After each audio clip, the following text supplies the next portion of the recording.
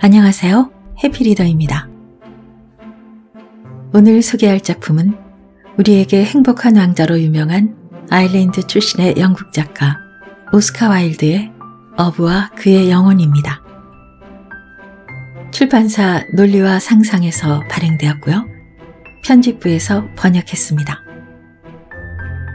오스카 와일드는 뛰어난 재능과 세련된 외모에 대범한 패션 감각으로 세간의 주목을 받았는데요. 19세기 당시 사교계의 중심 인물이기도 했습니다. 오스카 와일드를 일컬어 시대가 받아들이지 못한 불운한 천재라고 하는데요. 자기애가 유난히 강했던 그는 아름다움이 지상 최고의 가치라고 믿는 유미주의자로 빅토리아 시대의 위선을 날카롭게 풍자하며 작가로서 승승장구했지만 가치관이나 삶의 방식은 빅토리아 시대의 규범을 거부하는 것이었습니다. 찰스 디킨스와 더불어 세익스피어 이후 영국의 2대 작가로 꼽히며 작가로서의 명성을 날리던 오스카 와일드는 사생활의 비밀이 밝혀지면서 인생의 추락이라는 쓴맛을 경험하며 불명예를 안고 사회에서 퇴장하게 됩니다.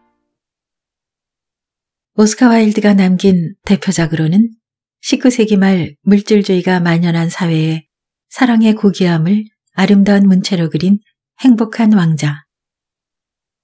연모하는 남자를 향한 애정과 증오, 집착과 광기를 그린 관능적인 희곡, 살로메.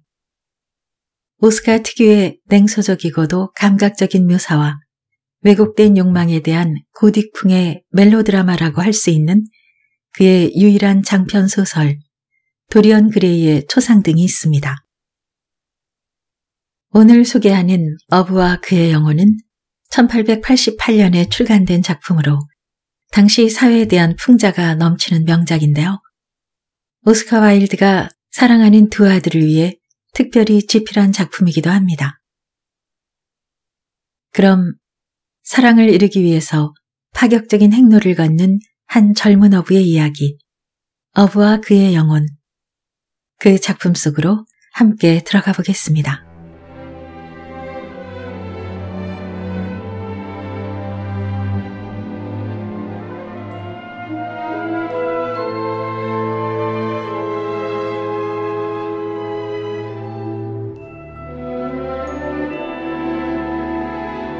뜻밖의 만남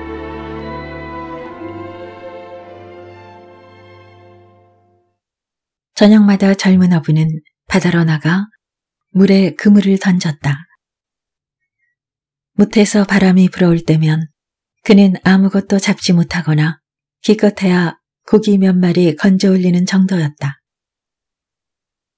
혹독한 바람이 불어와 강력한 날갯짓으로 거센 파도를 일으켰기 때문이다.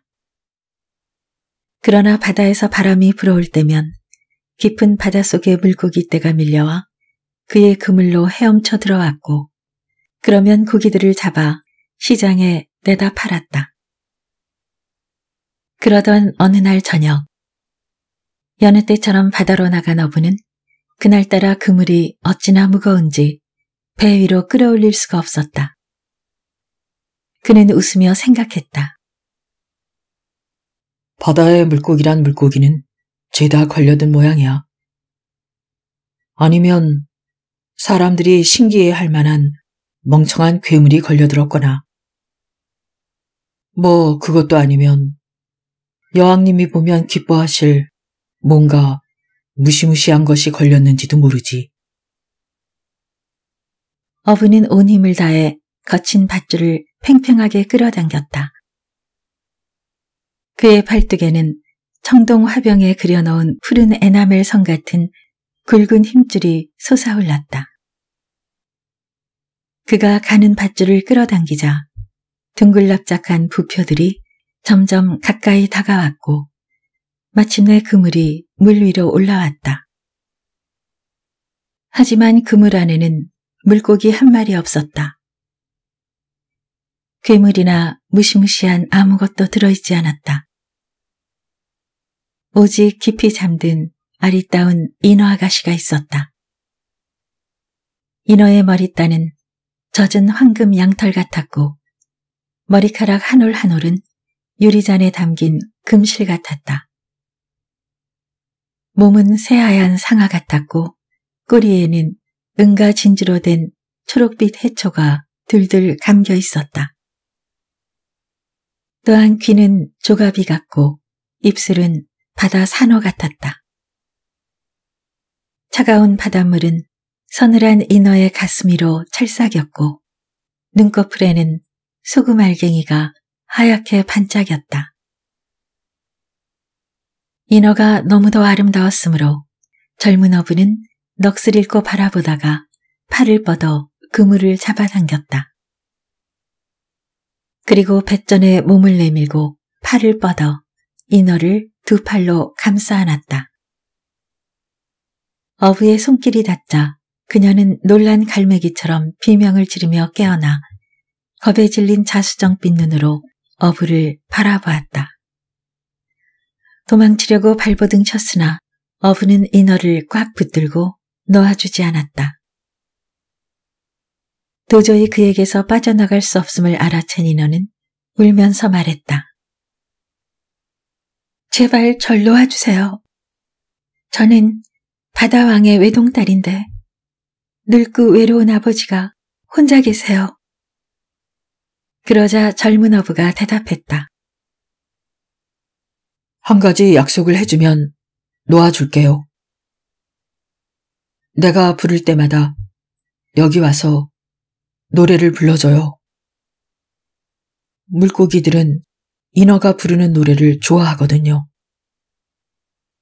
그러면 내 그물에 물고기 떼가 그득 차겠죠. 약속하면 정말 놓아주실 건가요? 정말로 그렇게 한다면 놓아주죠. 인어는 어부가 원하는 대로 약속했고 인어족의 이름을 걸고 맹세했다. 어부가 잡고 있던 팔을 느슨하게 풀어주었고 인어는 알 수 없는 두려움에 떨며 물속으로 사라졌다. 저녁마다 젊은 어부는 바다로 나가 인어 아가씨를 불렀다. 그때마다 인어는 물속에서 솟아나와 노래를 불러주었다. 그럴 때면 돌고래들은 인어 주위를 빙글빙글 돌며 헤엄쳤고 갈매기들은 인어의 머리 위를 맴돌았다. 인어가 부르는 노래는 환상적이었다. 인어는 어린 새끼를 어깨에 태우고 동굴에서 동굴로 바다 짐승떼를 몰고 다닌다는 인어족에 대해 노래했다. 또한 왕이 지나갈 때면 소라고동 나팔을 부는 긴 초록빛 수염에 털이 무성한 트리톤을 노래했다. 온통 호박석으로 되어 있고 투명한 에메랄드 지붕에 바닥에는 빛나는 진주가 깔려있는 왕궁에 대해서도 노래했다. 뿐만 아니라 부채살 모양으로 뻗은 산호의 섬세한 촉수들이 온종일 살랑거리고 물고기 떼가 은빛 새처럼 날아다니는가 하면 바위에는 아네모네가 붙어 자라고 물결무늬 모래밭에는 석죽이 자란다는 바다의 정원에 대해서도 노래했다. 인어는 북쪽 바다에서 내려오는 지느러미에 날카로운 고드름을 달고 있다는 큰 고래들에 대해 노래했다. 또한 아름다운 노래로 사람을 홀려 그 소리를 듣다가 물에 빠져 죽지 않으려고 장사꾼들이 밀랍으로 길을 막고 다닌다는 세이렌에 대해서도 노래했다. 배 밑에 달라붙어 온 세상을 돌아다니며 구경한다는 조그만 따개비들에 대해 노래했다. 비탈진 절벽에 살면서 기분 내키면 길고 검은 팔을 한껏 뻗쳐 언제라도 밤을 부를 수 있다는 갑오징어에 대해서도 노래했다. 인어는 오팔로 깎고 비단 돛을 단 자신만의 배를 갖고 있는 앵무조기에 대해 노래했다. 하프를 타서 거대한 크라켄을 잠들게 하는 행복한 인어 사내에 대해서도 노래했다. 등이 미끄러운 돌고래를 타고 깔깔대며 다니는 아이들에 대해서도 노래했다. 하얀 거품이 있는 해안에 누워 선원들에게 두 팔을 내미는 인어 아가씨에 대해 노래했고 바다 사자와 물살에 갈기가 넘실거리는 해마에 대해서도 노래했다. 인어가 노래하면 그 소리를 들으려고 다랑어떼가 깊은 바다에서 몰려왔다. 그러면 젊은 어부는 그물이나 작살로 물고기를 잡았다. 어부의 배가 물고기로 가득 차면 인어는 그에게 미소 지으며 바닷속으로 사라지곤 했다. 하지만 그녀는 결코 어부의 손이 닿을 만큼 가까이 오지는 않았다. 때로는 어부가 인어를 부르며 간청했으나 절대로 그의 곁에 다가오지 않았다. 어부가 인어를 잡으려고 하면 그녀는 마치 물개처럼 물속으로 뛰어들었고 그런 날은 다시 모습을 나타내지 않았다. 사랑의 조건 날이 갈수록 인어의 노래는 어부의 귀에 아름답게 들렸다. 그 목소리가 하도 감미로워서 어부는 그물과 고기 잡는 재주를 내팽개치고 배도 돌보지 않았다. 진홍빛 지느러미에 황금 눈알이 튀어나온 참치들이 때를 지어 지나갔지만 어부는 아랑곳하지 않았다. 어부의 작살은 손도 대지 않은 채로 곁에 놓여 있었고 고리버들로 짠 바구니는 비어 있었다. 어부는 배 안에 앉아 입을 해벌리고 눈은 개슴츠레하게 뜨고는 하염없이 인어의 노랫소리에 귀를 기울였다. 바다 안개가 그의 주위에 피어오르고 방황하던 달이 그의 구릿빛 팔다리를 은빛으로 물들일 때까지 노래를 들었다. 그러던 어느 날 저녁 어부는 인어를 불러내어 말했다. 인어 아가씨, 어여쁜 인어 아가씨, 나는 당신을 사랑합니다. 그러니 나를 신랑으로 맞아주시오. 하지만 인어는 고개를 저었다. 하지만 당신은 인간의 영혼을 가지고 있잖아요. 만약 당신이 영혼을 떠나보낸다면 저도 당신을 사랑할 수 있을 거예요. 그러자 젊은 어부는 생각하며 중얼거렸다. 하긴 영원히 나에게 무슨 소용이 있겠소. 볼 수도 만질 수도 없고 알 수도 없는데 말이야. 영혼을 떠나보내면 난 더 행복해질 거야. 어부는 기쁨에 들떠 외치며 배 위에 우뚝 서서 인어를 향해 두 팔을 벌렸다. 나는 영혼을 떠나보낼 겁니다. 그러니 내 신부가 되어주오. 나는 당신의 신랑이 되어 우리는 저 깊은 바다 속에서 행복하게 함께 살 수 있을 거요. 그러면 당신은 그동안 나에게 노래해준 모든 것을 보여주겠지요. 당신이 원하는 일이면 뭐든지 하겠습니다. 그리고 우리 영원히 헤어지지 말아요. 그러자 인어는 기쁜 듯 웃으며 두 손으로 얼굴을 가렸다. 젊은 어부가 인어를 향해 말했다. 그런데 내 영혼을 떼어버리려면 어떻게 해야 하죠? 나에게 방법을 가르쳐 주시오. 그러면 당장 그렇게 할게. 어머, 딱해라. 그건 저도 몰라요. 인어족에게는 영혼이 없으니까요. 인어는 안타까운 듯 그를 바라보며 깊은 바닷속으로 들어가 버렸다. 다음 날 아침 언덕 위로 해가 한 뼘도 채 올라오기 전에 젊은 어부는 사제관을 찾아가 문을 세 번 두드렸다. 수련 수사가 작은 창으로 누가 왔는지 확인하고는 빗장을 열고 들어오라고 말했다. 젊은 어부는 안으로 들어가 달콤한 향내가 나는 골풀 바닥에 무릎을 꿇고는 성경을 소리내어 읽고 있는 신부에게 말했다. 신부님, 저는 바다에 사는 인어를 사랑합니다. 제 영혼이 사랑을 이루는데 방해가 되어 어떻게 하면 제 영혼을 떼어내버릴 수 있는지 가르쳐 주십시오. 제겐 영혼이 필요 없어요.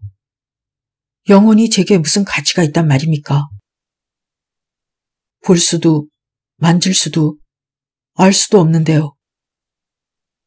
그러자 신부가 가슴을 치며 대답했다. 세상에 맙소사. 자네 미쳐버렸군. 아니면 독초를 잘못 먹은 건가? 영혼은 인간의 가장 고귀한 부분이며 신이 인간에게 그것을 소중히 사용하라고 내리신 거라네. 인간의 영혼만큼 값진 것은 없네. 세상에 있는 모든 황금을 준대도 왕들이 가진 루비를 내어준대도 바꿀 수 없네. 그러니 젊은이 이 일은 더 이상 생각하지 말게. 그건 용서받지 못할 죄악이야. 인어족은 버림받은 무리이고 그들과 관계를 맺는 자들도 타락을 면치 못하네. 그들은 선악을 구분하지 못하는 짐승과 다름없다네. 신부의 혹독한 말을 들은 젊은 어부는 두 눈에 눈물이 그렁그렁 맺혔다. 그는 자리에서 일어나며 말했다.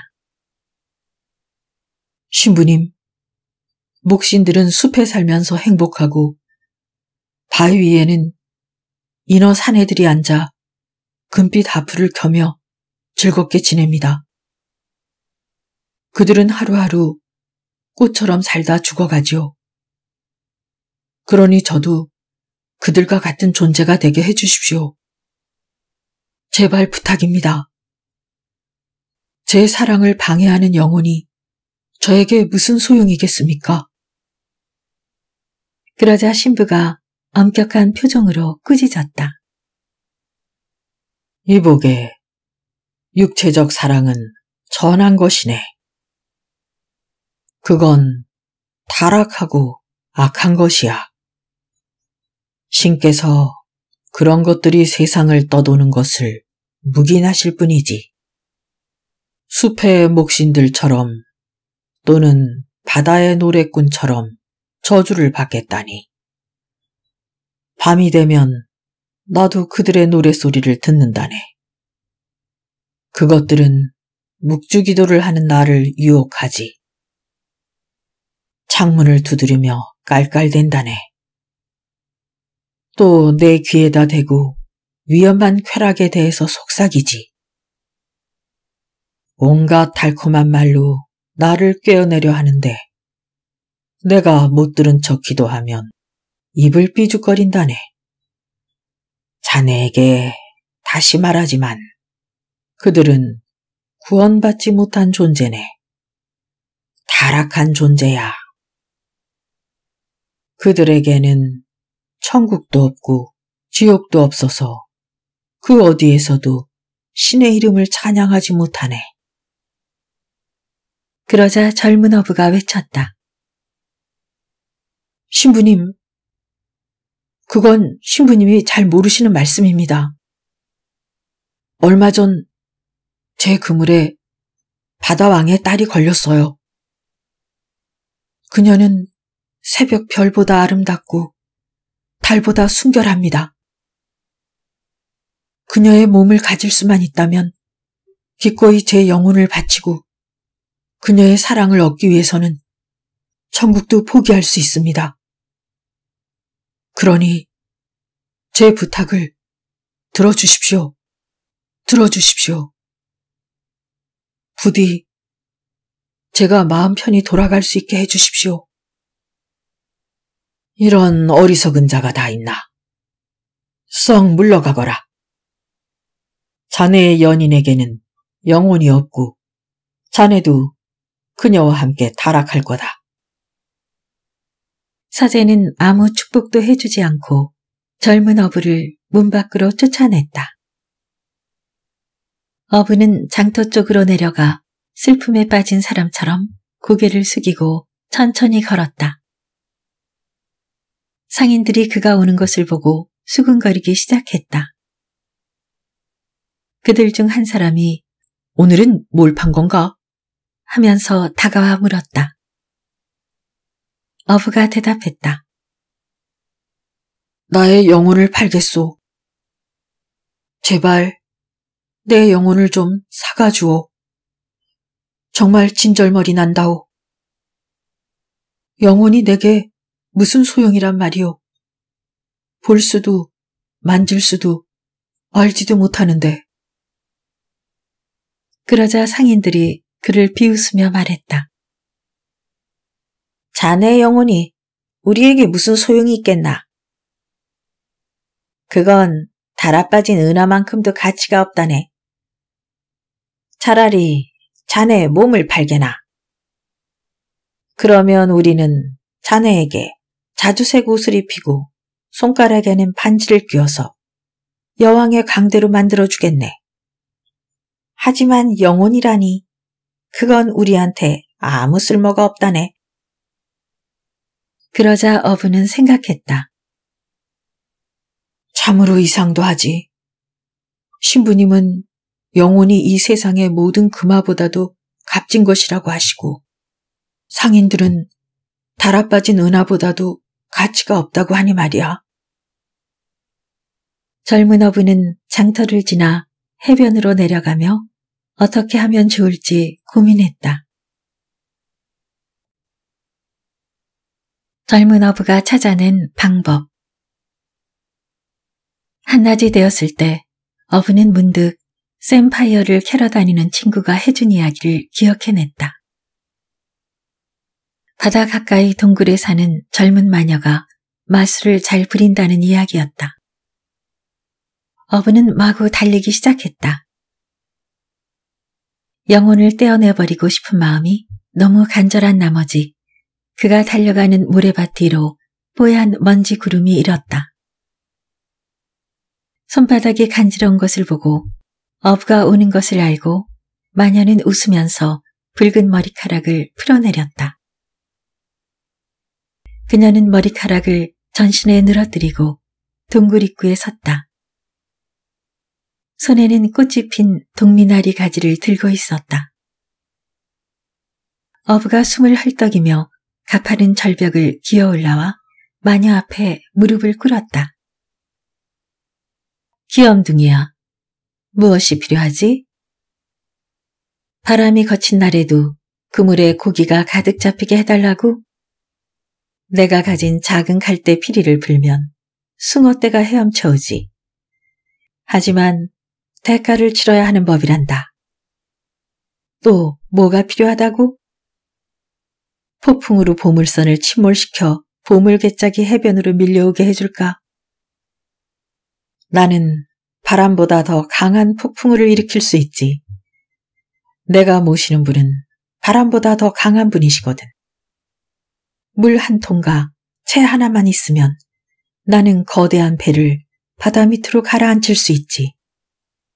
하지만 대가를 치러야 하는 법이야, 귀염둥이야. 대가를 치러야 하는 법이란다. 또 뭐가 필요하지? 나는 계곡의 핀 꽃들을 알고 있지. 나 말고는 아무도 몰라. 자주색 꽃잎에 한가운데 별이 박힌 우유처럼 하얀 수액을 가진 꽃이란다. 그 꽃으로 여왕님의 차가운 입술을 스치면 여왕님은 어디라도 널 따라다닐 거야. 왕의 침실에서 뛰쳐나와 세상 끝까지라도 널 따라다닐 거다. 하지만 대가를 치러야 하는 법이야, 귀염둥이야. 대가를 치러야 하는 법이란다. 또 뭐가 필요하지? 나는 바퀴로 하늘에 떠 있는 달을 끌어내릴 수도 있고 수정으로 너에게 죽음을 보여줄 수도 있어. 소원을 말해보렴. 그러면 들어줄 테니. 하지만 대가를 치러야 할 거야, 귀염둥이. 대가 말이야. 제 소원은 정말 하찮은 것입니다. 하지만 신부님은 화를 내며 저를 내쫓았고 상인들은 저를 비웃으며 놀렸습니다. 그래서 당신을 찾아왔습니다. 사람들은 당신을 사악하다고 하지만 저는 어떤 대가라도 치를 준비가 되어 있습니다. 그러자 마녀가 젊은 어부에게 다가오며 물었다. 원하는 게 대체 뭐지? 어부가 대답했다. 제 영혼을 제게서 떼어내고 싶습니다. 순간 마녀의 안색이 하얗게 변하더니 부들부들 몸을 떨며 푸른 망토로 얼굴을 가리며 말을 더듬었다. 귀염둥이야. 그건 너무 무서운 일이란다. 젊은 어부는 갈색 곱슬머리를 흔들며 웃었다. 나한테 영혼은 아무것도 아니에요. 볼 수도 만질 수도 알지도 못하니까요. 마녀는 아름다운 눈으로 그를 내려다보며 물었다. 그 방법을 알려주면 나에게 무엇을 줄 테냐? 어부가 대답했다. 금화 다섯 개와 배와 그물과 초가집을 다 드리겠습니다. 제 영혼을 떼내서 버릴 방법만 알려주신다면 제가 가진 모든 것을 내놓겠습니다. 마녀는 조롱하듯 웃으며 동미나리 가지로 그를 쳤다. 나는 낙엽을 가지고 황금을 만들 수도 있고 마음만 먹으면 창백한 달빛을 은으로 변하게 할 수도 있지. 내가 모시는 분은 이 세상의 모든 왕보다도 부자이고 그들을 지배하시거든. 그러면 무엇을 드리면 좋겠습니까? 당신이 원하는 대가가 금도 은도 아니라면 대체 무엇입니까? 마녀는 가늘고 흰 손으로 어부의 머리를 쓰다듬었다. 나와 춤을 추어야 한다, 귀염둥이야. 그녀는 이렇게 말하며 어부에게 미소를 지었다. 어부는 깜짝 놀라 벌떡 일어나며 소리쳤다. 그것뿐입니까? 마녀는 대답하며 또다시 미소를 지었다. 그거면 된단다, 귀염둥이야. 어부가 말했다. 그러면 해질 무렵 은밀한 곳에 가서 춤을 추도록 하지요. 춤을 추고 난 후에 제가 알고 싶은 것들을 꼭 말해줘야 합니다. 그러자 마녀가 고개를 저으며 말했다. 아니, 보름달이 뜰 때, 보름달이 뜰 때 춤을 춰야 한단다. 귀염둥이야. 그리고 그녀는 사방을 둘러보며 귀를 기울였다.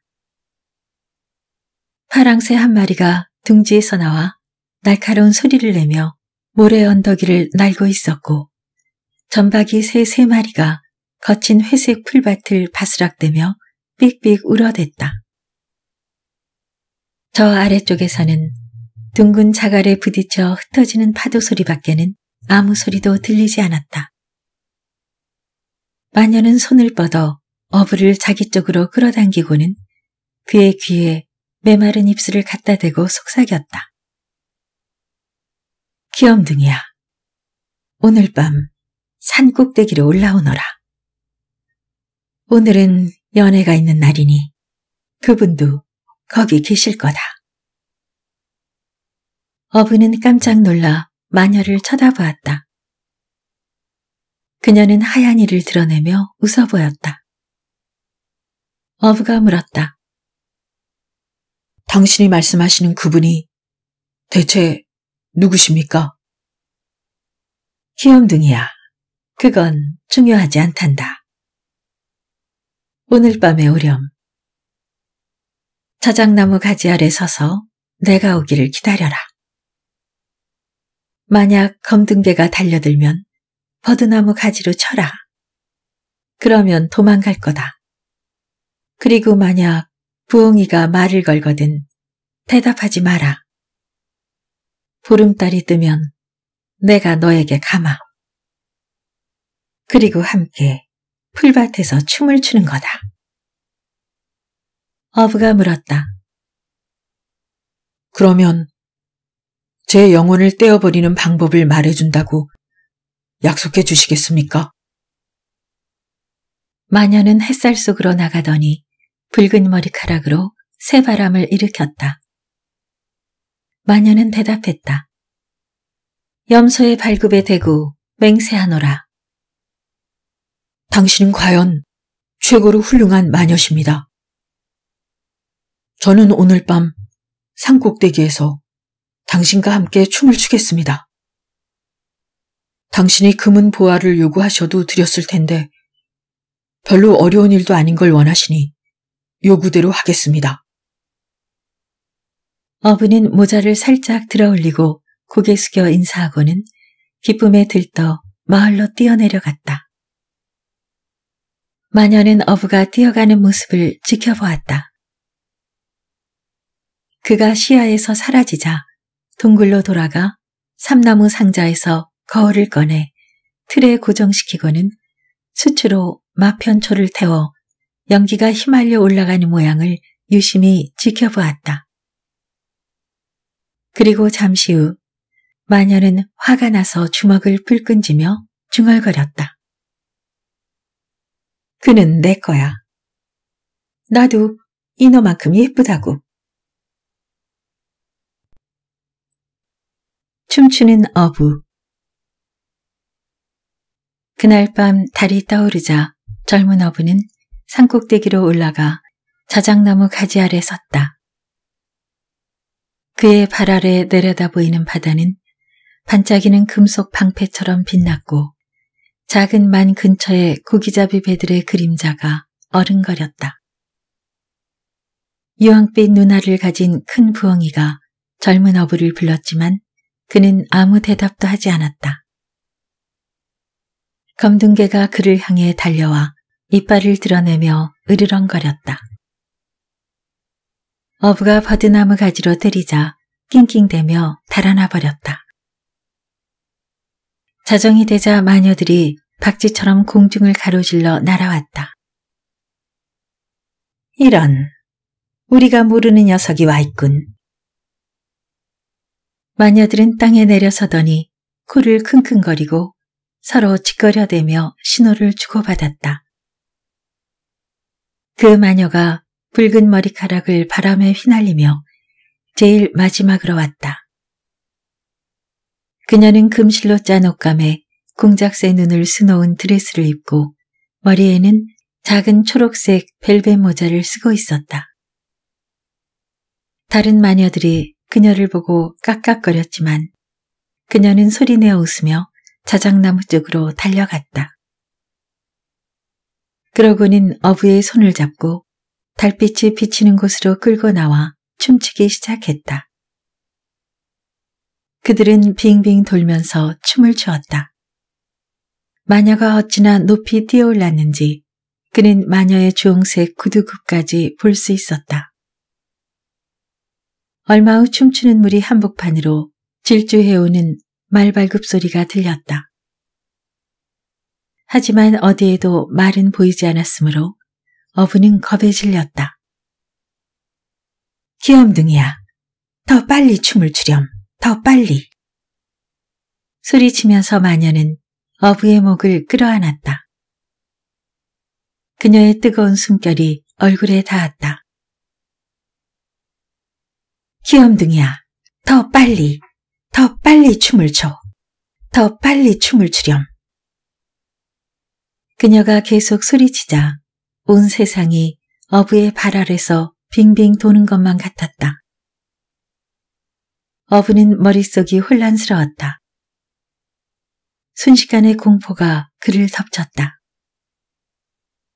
마치 무언가 사악한 것이 자신을 지켜보고 있는 것만 같았다. 마침내 어부는 바위 그늘 아래 좀 전까지 없던 어떤 형상이 서 있는 것을 알아차렸다. 그는 스페인풍의 검은 벨벳 양복을 입은 남자였다. 얼굴은 이상할 정도로 창백했으나 입술은 오만한 붉은 꽃과도 같았다. 그는 짙은 듯이 보였고 몸을 뒤로 기댄 채 따분한 듯 단검 자루를 만지작거리고 있었다. 그의 옆 풀밭에는 깃털 달린 모자와 금색 레이스와 작은 진주로 장식된 장갑 한 켤레가 놓여 있었다. 어깨에는 담비털을 들은 짤막한 망토를 걸치고 희고 섬세한 손에는 여러 개의 보석 반지를 끼고 있었다. 묵직한 눈꺼풀은 눈 위로 처져 있었다. 어부는 마치 주술에 걸린 것처럼 그를 바라보았다. 마침내 둘의 눈이 마주쳤다. 어부가 춤추며 어디를 가든 그 남자의 눈이 자신을 따라다닐 것만 같았다. 어부는 마녀의 웃음소리를 들으며 그녀의 허리를 휘감고 미친 듯이 돌고 또 돌았다.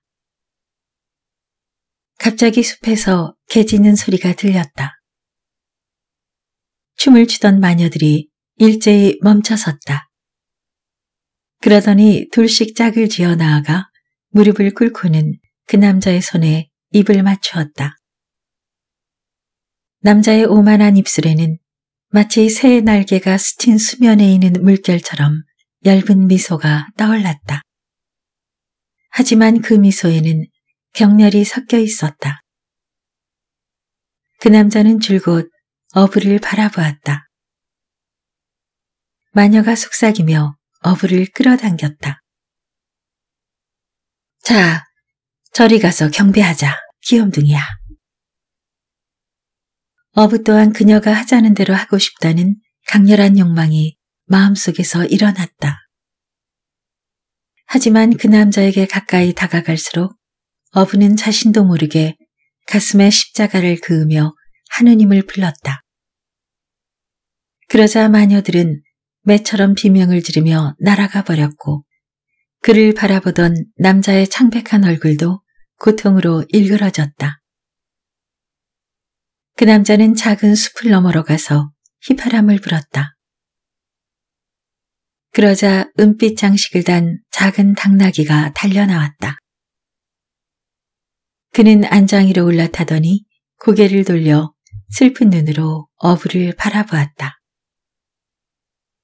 붉은 머리 마녀도 역시 도망가려 했으나 어부는 그녀의 손목을 꽉 잡고 놓아주지 않았다.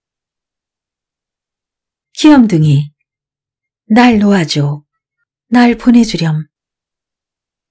일이 이렇게 된 건 다 내 탓이야. 내가 불러서는 안 되는 이름을 부르고 해서는 안 되는 표시를 해보였기 때문이야. 싫습니다.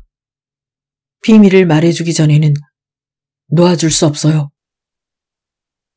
마녀는 어부에게서 빠져나가려고 몸부림치며 거품을 물었다.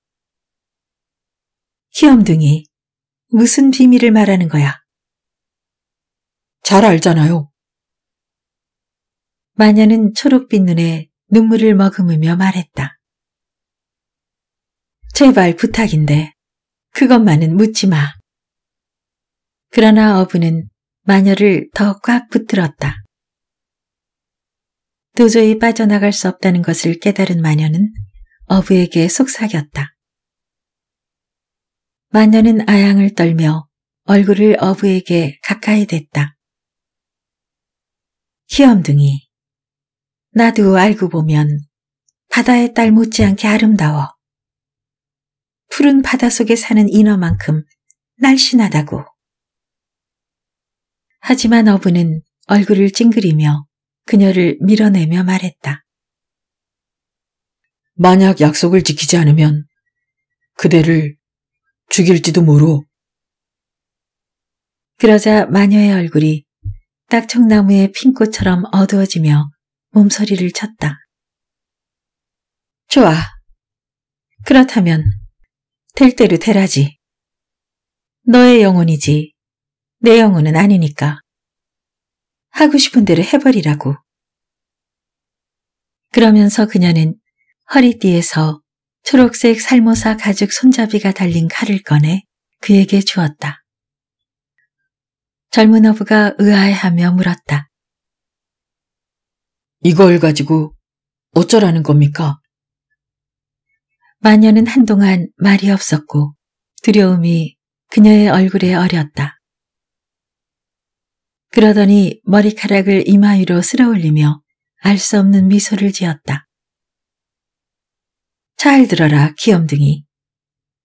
사람들이 그림자라고 부르는 건 사실 몸의 그림자가 아니라 영혼의 몸이란다. 해변에서 달을 등지고 서서 발에서부터 그림자를 잘라버려라. 몸의 그림자를 말이야. 그런 다음에 영혼에게 떠나라고 말해라. 어부는 몸을 부르르 떨며 중얼거리듯 물었다. 그게 답니까? 마녀는 탄식의 눈물을 흘리며 그의 무릎에 매달렸다. 그는 마녀를 떨쳐내 풀밭에 내팽개치고는 허리춤에 칼을 차고 산을 내려가기 시작했다. 그러자 어부의 안에 있던 영혼이 그를 부르며 말했다. 이것 봐. 이제까지 내 안에서 살았고 너를 충실하게 섬겼어. 이제 와서 나를 떼어내버리지 말아줘. 대체 내가 무슨 잘못을 했단 말이야? 그러자 어부가 웃으며 말했다. 내가 나에게 잘못한 건 없어. 나는 이제 내가 필요 없어진 거지. 세상은 아주 넓어. 천국도 있고 지옥도 있지. 그 사이에 희미하게 그늘진 곳도 있어. 그러니까 가고 싶은 곳으로 가. 날 귀찮게 하지 말고 내 사랑이 나를 부르고 있거든. 어부의 영혼이 애처롭게 애원했으나 어부는 들은 척도 하지 않고 야생 염소 같은 힘찬 걸음으로 바위를 뛰어넘고 마침내 산을 내려와 해변에 도착했다. 그리스 조각상과도 같은 구릿빛 팔다리에 건장한 체격을 가진 어부가 달을 등지고 모래 위에 섰다. 물거품 속에서 하얀 팔들이 나와 손짓하며 그를 불렀고 파도에서 희미한 형상이 솟아올라 그에게 경의를 표했다. 그의 앞에는 영혼의 몸인 그의 그림자가 누워 있었다. 그의 뒤편 하늘에는 달이 걸려 있었다. 영혼이 그에게 말했다. 정말로 나를 떼내버리려 한다면 주인님 마음과 함께 가게 해줘. 세상은 비정해. 나와 함께 갈 수 있도록 마음을 나에게 줘. 어부는 머리를 가로저으며 미소를 지었다. 마음을 너에게 줘버리면 나는 어떻게 사랑을 하라는 거야? 자비를 베풀어줘. 마음을 내게 달라고. 세상이 너무 비정해서 난 두려워. 내 마음은 내 사랑의 것이야. 그러니까 꾸물거리지 말고 어서 떠나. 그럼 나는 사랑도 하지 말라는 말이야? 당장 사라져. 나는 더 이상 내가 필요 없어. 난 영혼이 필요 없다고. 젊은 어부는 소리치며 초록색 살모사 가죽 손잡이가 달린 칼을 꺼내 그림자를 잘라버렸다. 그러자 그림자는 어부와 똑같은 크기로 일어나 어부 앞에 서더니 가만히 그를 바라보았다. 어부는 뒤로 물러서며 칼을 도로 허리춤에 찔러 넣었다. 두려움이 그를 덮쳤다. 어서 가. 다시는 내 앞에 나타나지 말아줘. 그러자 영혼이 말했다. 아니, 우리는 다시 만나야 해. 그 목소리는 낮은 피리 소리처럼 들렸다.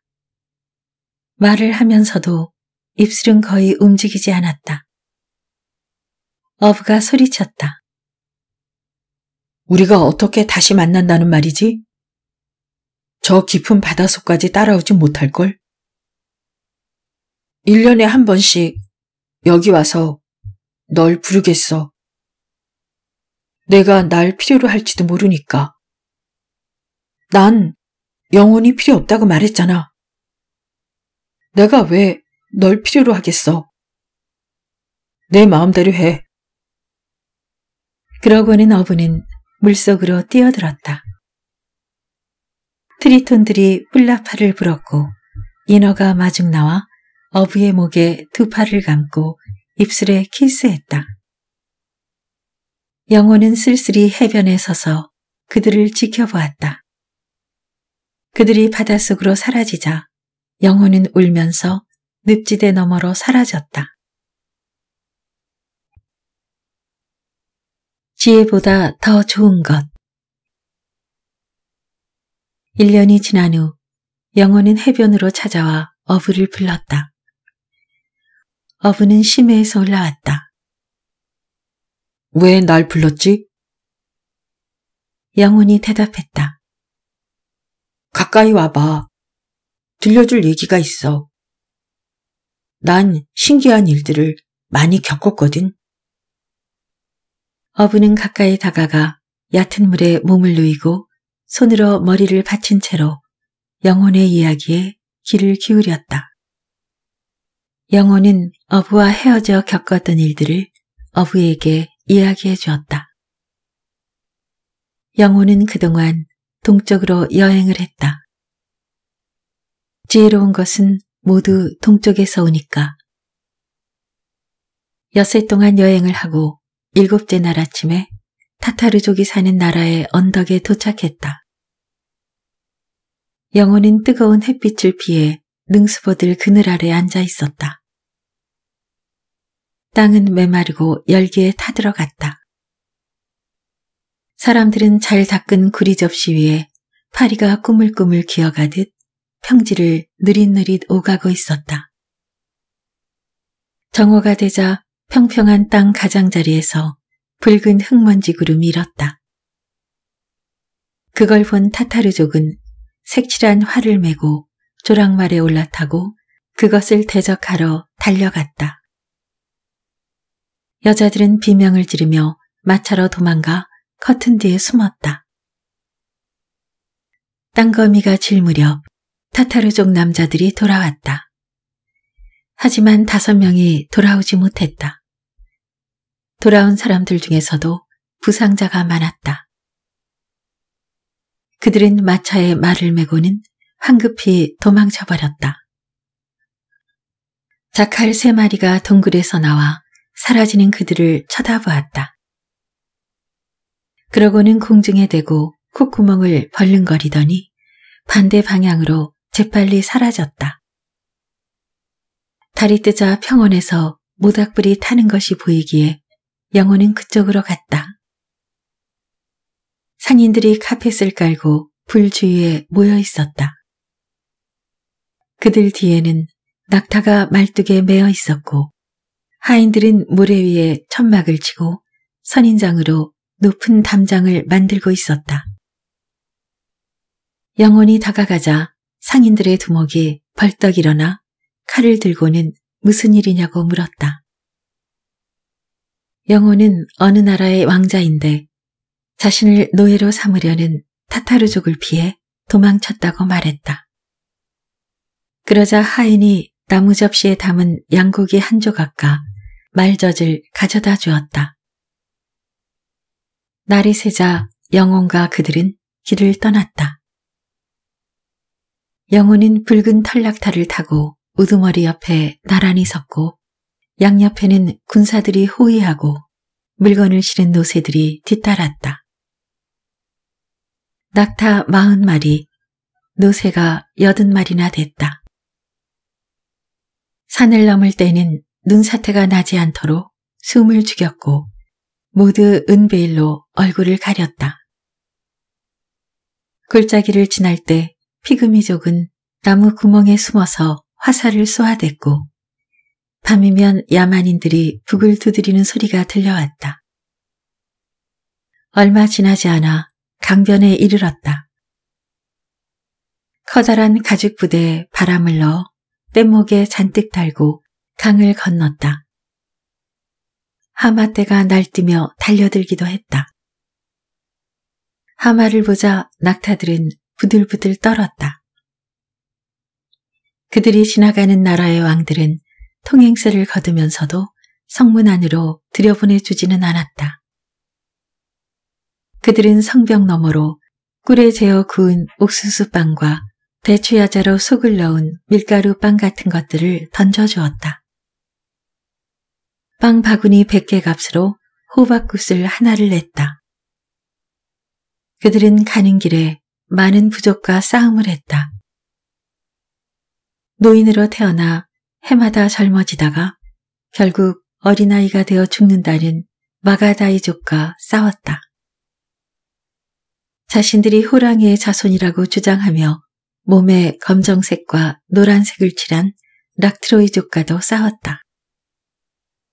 발이 말처럼 생겼고 말보다 더 빨리 달리는 시반족과도 싸웠다. 그들 일행 중 3분의 1은 싸우다 죽었고 다른 3분의 1은 굶어 죽었다. 남은 사람들은 영혼이 불행을 가져왔다면서 불평했다. 영혼은 돌 밑에서 뿔 달린 살모사를 잡아 일부러 자신을 물게 했다. 그래도 멀쩡한 것을 본 그들은 영혼을 두려워하기 시작했다. 넉 달째 되는 날, 그들은 일렐이라는 도시에 이르렀다. 밤이었기 때문에 그들은 성벽 바깥에 작은 숲으로 갔다. 달이 정갈자리를 지나는 때라 공기가 후덥지근했다. 그들은 나무에서 석류를 따서 즙을 마셨다. 그러고는 자리를 깔고 누워 새벽이 오기를 기다렸다. 그들은 새벽에 일어나 성문을 두드렸다. 붉은 구리로 된 성문은 해마와 날개 달린 용이 새겨져 있었다. 성벽 위에서 호위병이 내려다보며 무슨 일이냐고 물었다.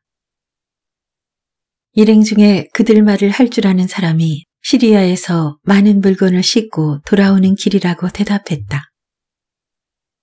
그러자 그들은 담보물을 받고는 정오에 정문을 열어줄 테니 기다리라고 했다. 정오가 되자 성문이 열렸다. 그들이 들어가니 사람들이 구경하려고 떼지어 몰려들었다. 전령이 성 안을 돌아다니며 고등 나팔에 대고 밖으로 나와보라고 외쳐댔다. 그들은 장터로 갔다.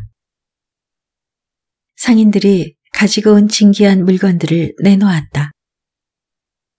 이집트에서 가져온 밀라비핀 아마포, 에티오피아에서 가져온 물들인 아마포, 티로스에서 가져온 자줏빛 스펀지와 시돈에서 가져온 푸른색 벽걸이, 차가운 호박으로 만든 컵과 유리 그릇들, 진흙을 구워 만든 신기한 그릇들을 늘어놓았다.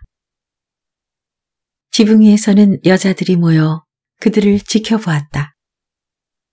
그들 중 한 명은 금박 입힌 가죽 가면을 쓰고 있었다. 첫째 날에는 사제가 와서 그들과 거래를 했다. 둘째 날에는 귀족들이 왔고 셋째 날에는 수공업자들이 왔다.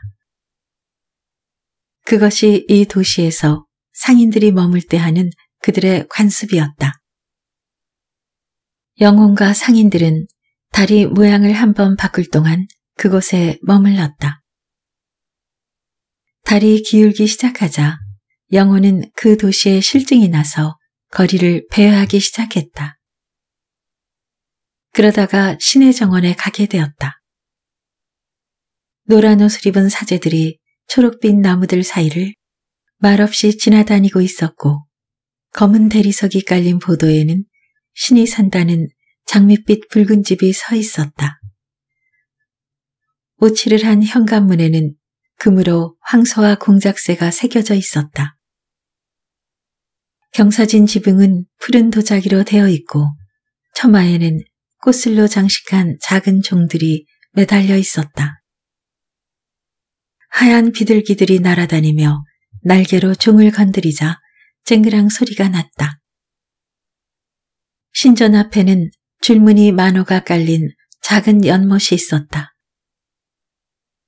영호는 그 옆에 누워 가는 손가락으로 넓적한 잎사귀를 만지작거렸다. 수도사들 중 하나가 다가왔다.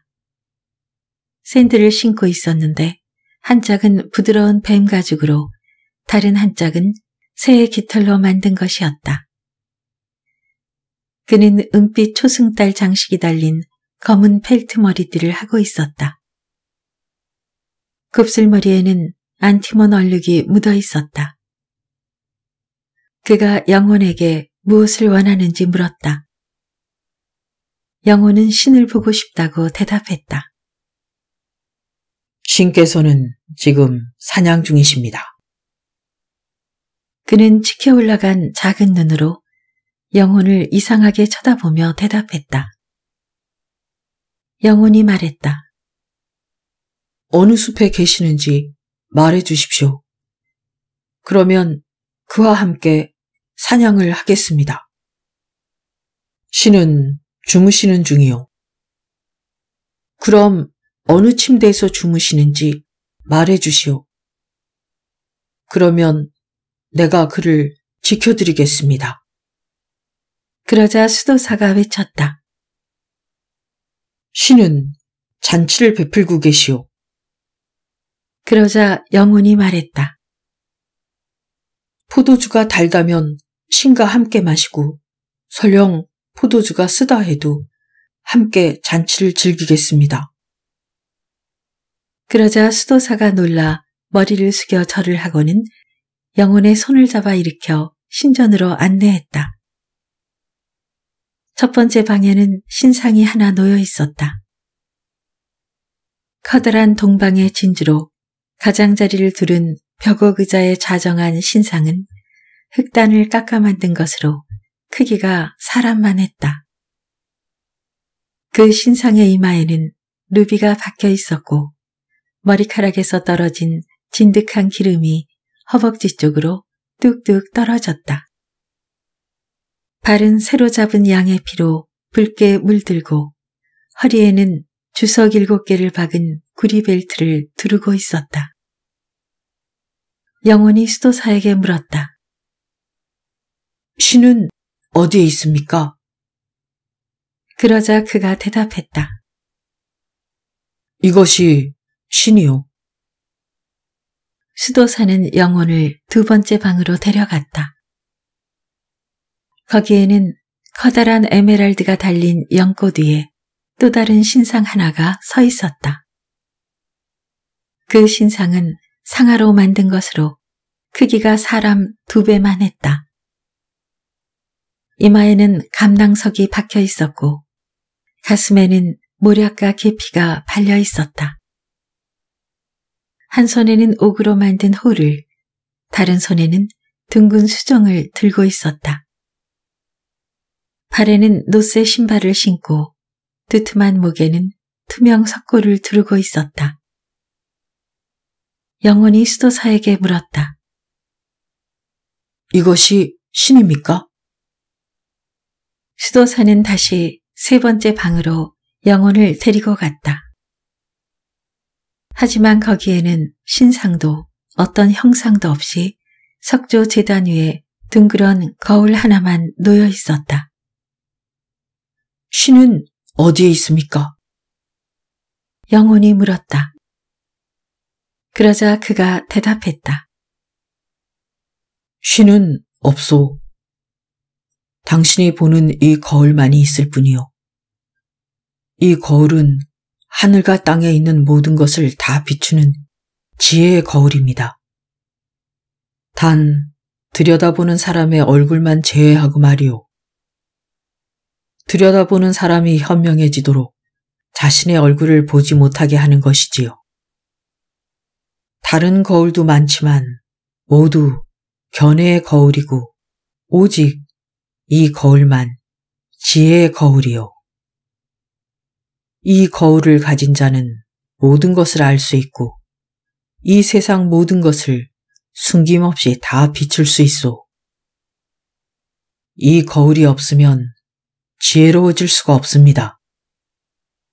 그러므로 이 거울이 바로 저희의 신이고 우리는 이 신을 경배합니다. 영혼은 그 거울을 들여다보았다. 그가 말한 그대로였다. 영혼이 어부를 돌아보며 가라앉은 목소리로 말했다. 그러고 나서 나는 나쁜 짓을 했어. 무슨 짓을 했는지는 중요하지 않아. 나는 이곳에서 하루 정도 걸리는 골짜기에 지혜의 거울을 숨겨놓았어. 제발 내가 내 안으로 다시 들어가 너를 위해서 봉사하게 해줘. 그러면 너는 이 세상 그 누구보다 더 현명해질 테고 지혜가 바로 내 것이 될 거야. 나를 다시 내 안으로 들어가게 해줘.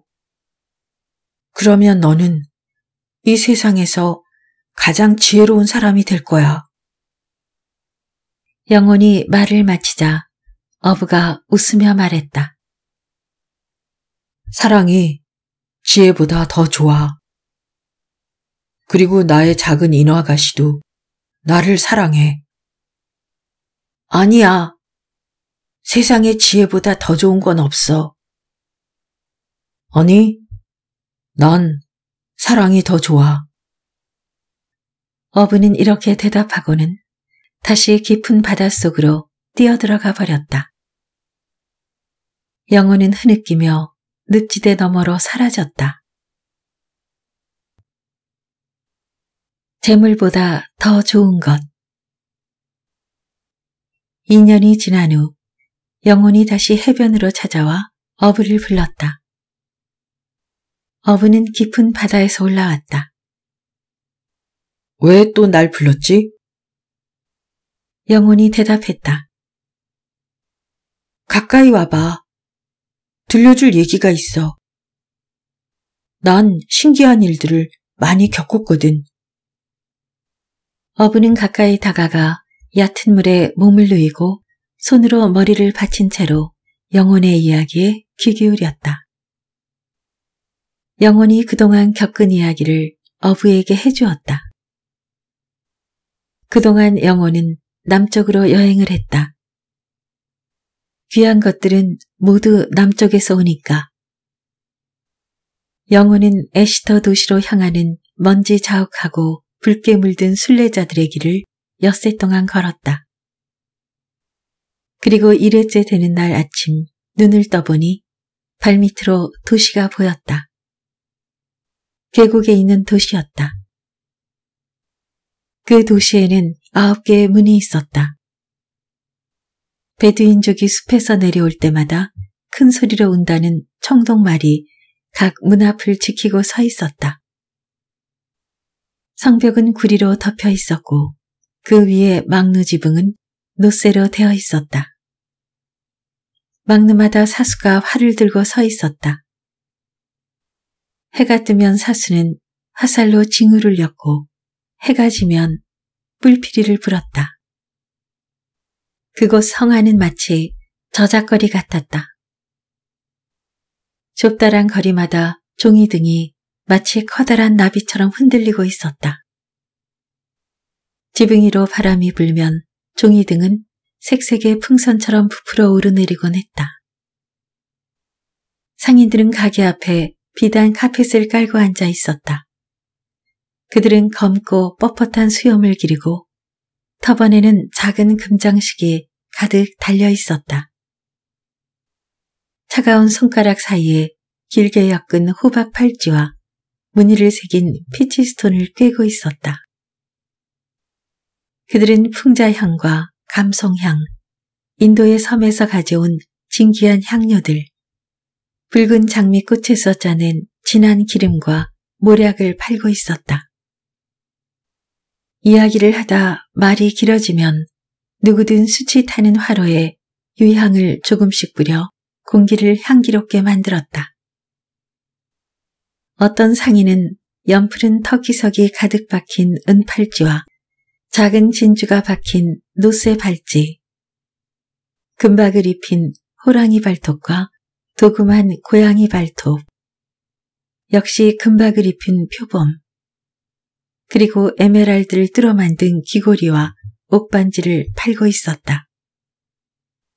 찻집에서는 기타 소리가 울렸고 포도주 장수들은 어깨에 커다란 검은 가죽 부대를 메고 사람들 사이를 누비고 다녔다. 그들은 꿀처럼 단 시라즈 포도주를 팔았다. 작은 금속잔에 포도주를 따르고 장미 꽃잎을 띄어서 주었다. 시장에서는 과일 장수들이 온갖 종류의 과일을 다 팔았다. 너무 잘 익어 자줏빛 멍이 든 것 같은 무화과, 사양 냄새가 나는 황옥처럼 누런 빛깔의 멜론, 레몬과 사과, 백포도 송이들, 붉은 빛이 도는 금빛 오렌지, 푸르스름한 금빛 레몬 같은 것들을 팔고 있었다. 해가 지자 영호는 석류나무 거리에 있는 찻집에 들어갔다. 그때 황제의 호위병이 들어와 영혼을 궁전으로 끌고 갔다. 영혼이 들어가자 그들은 문을 닫고 쇠사슬로 잠갔다. 궁전 안에는 사방이 아케이드로 둘러싸인 커다란 뜰이 있었는데 벽들은 하얀 설화석고로 되어 있었고 곳곳에 청색과 녹색 타일이 박혀 있었다. 기둥은 녹색 대리석, 바닥은 복숭아 색깔의 대리석으로 되어 있었다. 영호는 지금껏 그렇게 아름다운 궁전을 본 적이 없었다. 궁전 뜰을 지나갈 때 베일을 쓴 여자들이 발코니에서 영혼을 내려다보며 욕을 퍼부었다. 호위병들은 영혼을 재촉했고 윤나는 바닥에 부딪히는 창자루 소리가 울렸다. 호위병들이 상하로 된 문을 열자 일곱 개의 테라스가 있는 정원이 나타났다. 튤립과 달맞이꽃, 은가루를 뿌린 듯한 알로에가 가득 심겨 있었다. 뿌연 허공에는 갈대처럼 가느다란 분수가 달려 물을 뿜고 있었다. 삼나무들은 마치 타버린 횃불 같았고 그 중 한 나무에서는 나이팅게일이 울고 있었다. 정원 끝에는 작은 장막이 하나 있었다. 그쪽으로 다가가자 환관 두 명이 맞으러 나왔다. 그들은 너무 비대해 걸을 때마다 살이 출렁거렸다. 그 중 한 명이 호위대장을 옆으로 끌어당겨 낮은 목소리로 소곤거렸다. 또 다른 한 사람은 연보라색 에나멜 칠을 한 둥근 범랑 상자에서 짐짓 꾸민 동작으로 향긋한 알약을 꺼내 계속 씹어먹고 있었다. 잠시 후 호위 대장은 병사들을 해산시켰다. 그들은 궁전으로 돌아갔고 환관들도 천천히 그들을 따라가며 뽕나무에 달린 달콤한 오디를 따고 있었다. 환관 둘중 나이가 많아 보이는 쪽이 뒤를 돌아보더니 영혼에게 사악한 미소를 지었다. 그러자 호위 대장은 영혼에게 장막으로 가라고 손짓했다.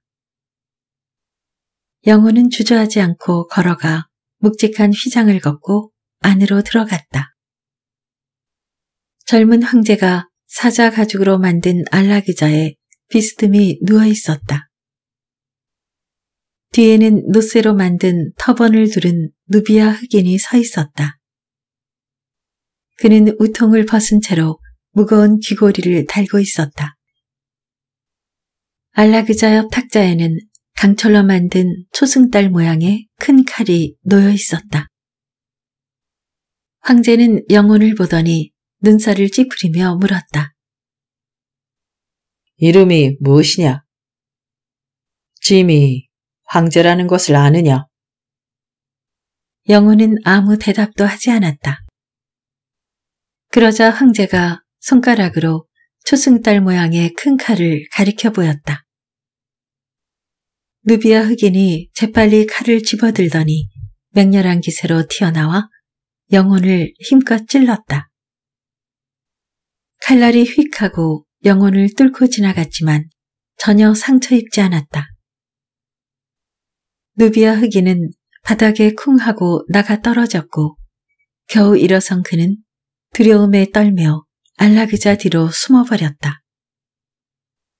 황제는 벌떡 일어나 무기 진열대에서 창을 들고 나와 영혼을 향해 던졌다.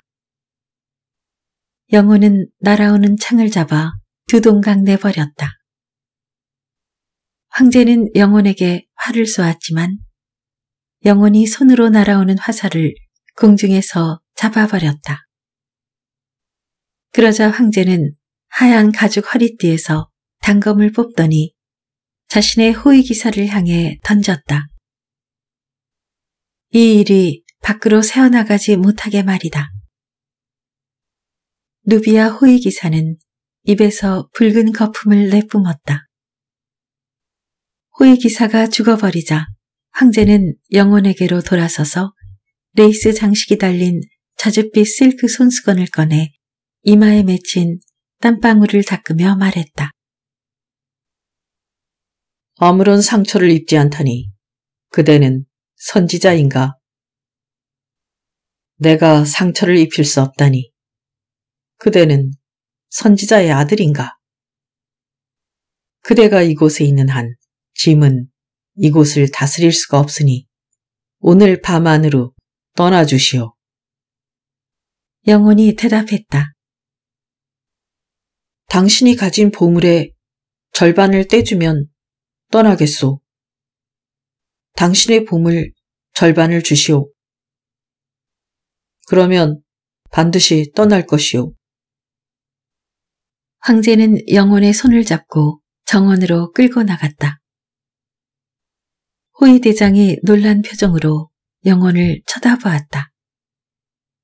황간들은 영혼을 보더니 두려움으로 떨다가 바닥에 엎어졌다. 궁전 안에는 붉은 반석으로 된 팔각형 방이 있었다. 그 벽들은 붉은 반려암으로 되어 있고 청동으로 된 천장에는 등잔이 매달려 있었다. 황제가 벽들 중 하나를 건드리자 벽이 열렸고 횃불을 밝혀놓은 복도를 걸어 내려갔다. 북도 양쪽 벽에 우묵하게 패인 자리마다 은하들로 채워진 커다란 포도주 항아리들이 놓여 있었다. 복도 중간쯤에 이르자 황제는 뭔가를 중얼거렸고 비밀로 장치되었던 화강한 문이 스르르 열렸다. 황제는 눈이 부셔 손으로 얼굴을 가렸다. 거대한 거북 등껍질에는 진주가 가득 들어 있었고 속이 텅 빈 커다란 월장석 안에는 붉은 루비가 가득했다. 코끼리 가죽으로 만든 괴짝들에는 금이 가득 들어 있었고 가죽 주머니 안에는 금가루가 잔뜩 들어 있었다. 수정잔에는 오파리, 사파이어 잔에는 사파이어가 들어 있었다. 둥근 녹색 에메랄드가 상하로 만든 얇은 접시 위에 줄지어 놓여 있었고 한쪽 구석에는 터키석과 녹두석이 가득 든 비단 자루가 수북했다. 상하잔에는 자수정이, 노쇠잔에는 옥수와 홍옥수가 쌓여 있었다.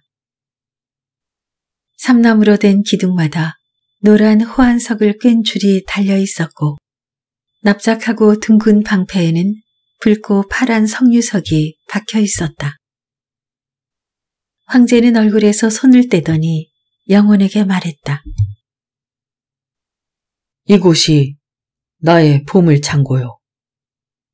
약속대로 이 안에 있는 것에 절반을 주겠소.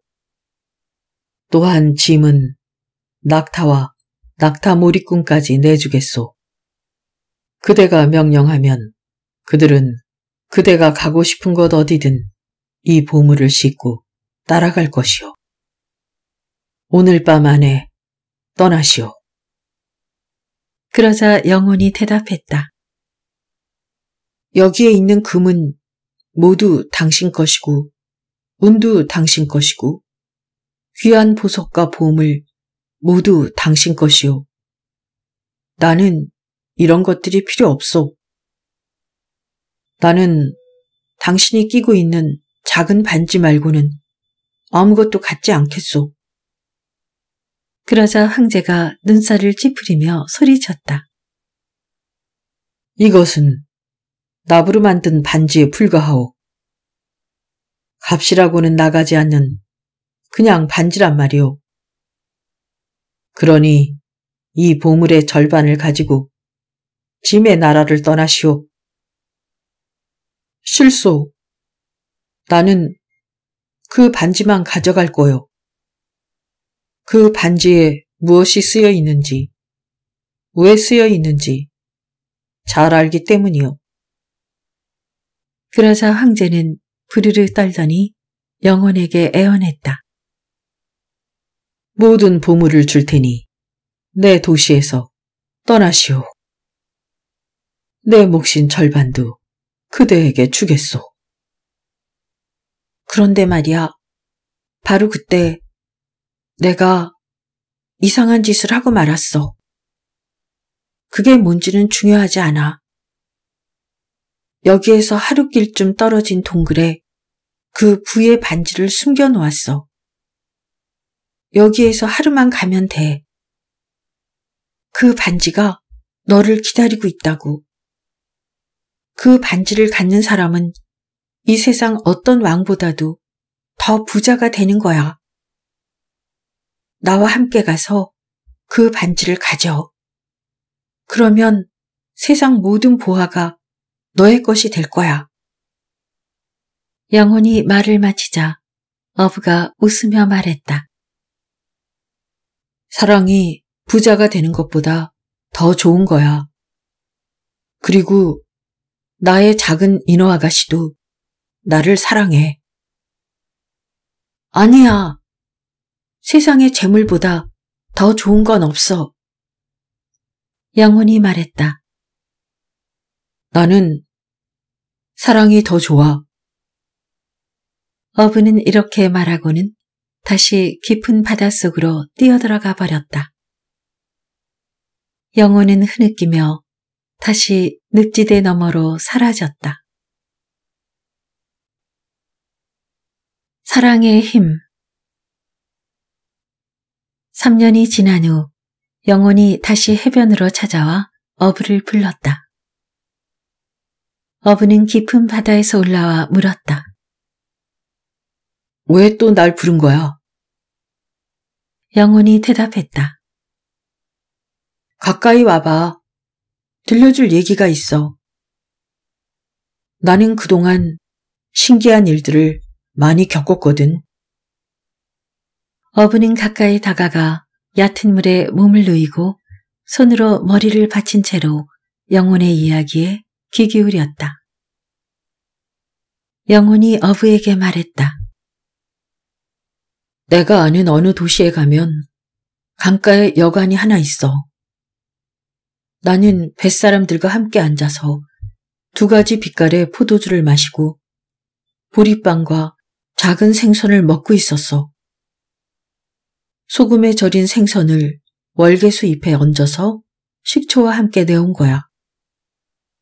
우리가 그곳에 앉아 즐거운 시간을 보내고 있는데 가죽 양탄자와 호박불이 달린 뉴트를 든 노인이 우리 쪽으로 다가왔어. 그가 카펫을 바닥에 깔고 앉아서 뉴트의 현을 퉁기기 시작했지. 그러자 얼굴을 베일로 가린 소녀 하나가 뛰어들어와서 우리 앞에서 춤을 추는 거야. 소녀의 얼굴은 얇은 천으로 가려져 있었지만 맨발이었지. 그녀의 맨발이 카페디를 하얀 비둘기처럼 움직였는데 그토록 아름다운 모습을 본 적이 없어. 그녀가 춤추고 있는 도시는 여기서 하루만 가면 되지. 이 말을 듣고 있던 어부는 인어 아가씨는 발이 없어 춤을 추지 못한다는 사실이 떠올랐다. 문득 강한 욕망이 젊은 어부를 사로잡았다. 그래? 하루면 된다 이거지? 그럼 뭐, 금방 갔다가 내 사랑에게 돌아가면 되지. 어부는 일어나 물가로 성큼성큼 걸어갔다. 무트로 나온 어부는 웃으며 영혼에게 팔을 벌렸다. 영혼은 기쁘게 외치며 달려가 어부 안으로 들어갔다. 그러자 어부의 발 앞 모래 위로 영혼의 몸인 그림자가 길게 뻗어 있는 것이 보였다. 영혼이 말했다. 꿈을 대지 말고 어서 그곳으로 가자. 질투가 많은 바다의 신들이 괴물을 불러올지도 모르니까. 그들은 서둘러 떠났다. 밤새도록 달빛 아래에서 발걸음을 재촉했고 다음 날에도 태양 아래서 온종일 걸었다. 저녁이 되어서야 어느 도시에 도착했다. 여기가 내가 말한 그 소녀가 춤을 춘다는 곳이야? 어부가 영혼에게 물었다. 아, 이 도시가 아니라 다른 도시인걸. 어쨌든 들어가 보자. 그들은 도시로 걸어 들어갔다. 보석상의 거리를 지날 때 어부는 가게에 진열된 멋진 은잔을 보았다. 영혼이 속삭였다. 저 잔을 훔쳐서 숨겨. 어부는 엉겹결에 잔을 집어 윗도리 안에 숨긴 다음 서둘러 도시를 빠져나왔다. 도시에서 얼마쯤 벗어나자 어부는 얼굴을 찌푸리며 잔을 던졌다. 그리고 영혼에게 말했다. 왜 나에게 잔을 훔치라고 했지? 그건 나쁜 짓이잖아. 그러자 영혼이 대답했다. 진정해. 진정하라고. 다음 날 저녁에 그들은 또 어떤 도시에 도착했다. 어부가 물었다. 여기가 내가 말한 그 소녀가 춤을 춘다는 곳이야? 영혼이 대답했다. 아, 이 도시가 아니고 다른 도시인걸? 어쨌든 들어가 보자. 그들은 그 도시로 걸어 들어갔다. 신발 가게가 있는 거리를 지나가다 어부는 물병을 들고 서 있는 어린아이 하나를 보았다. 영혼이 어부에게 말했다. 저 아이를 두들겨 패줘. 어부는 아이가 울음을 터뜨릴 때까지 마구 때리고는 서둘러 도시를 빠져나왔다. 도시에서 얼마쯤 벗어나자 어부는 화를 내며 영혼에게 소리쳤다. 왜 나에게 아이를 두들겨 패라고 했지? 그건 나쁜 짓이잖아. 하지만 영혼은 이렇게 말할 뿐이었다. 진정해. 진정하라고. 다음 날 저녁에 그들은 또 다른 도시에 도착했다. 어부가 물었다. 여기가 내가 말한 그 소녀가 춤을 춘다는 곳이야? 영혼이 대답했다. 아마 이 도시가 맞을 거야. 들어가 보자. 그들은 그 도시로 들어갔다. 하지만 아무리 찾아도 강이나 강가에 있다는 여관은 보이지 않았다. 게다가 사람들은 어부를 이상한 눈길로 쳐다보았다. 어부는 겁이 나서 영혼에게 말했다. 어서 여기서 빠져나가자. 하얀 맨발로 춤추는 소녀는 여기에 없는 것 같아. 그러자 영혼이 대답했다. 그런가 봐. 그런데 밤이 늦어서 길의 강도가 득실될 거야. 여기 좀 더 있어 보자. 어부는 하는 수 없이 장터에 앉아 쉬었다. 얼마 후 망토를 들고 두 권을 쓴 타타르족 상인이 그곳을 지나갔다. 그는 끝부분에 구멍을 뚫어 각등을 단 대나무를 들고 있었다. 상인이 어부에게 물었다. 그대는 왜 가게 문도 닫히고 물건도 다 치워진 시장 바닥에 앉아 있어? 이 도시에는 여관도 없고 나는 재워줄 친척도 없습니다. 그러자 상인이 말했다. 우리는 모두 형제가 아니오. 신께서 우리를 모두 하나로 만들지 않으셨소. 그러니 나와 함께 갑시다. 우리 집에는 손님이 묵을 방이 있다오.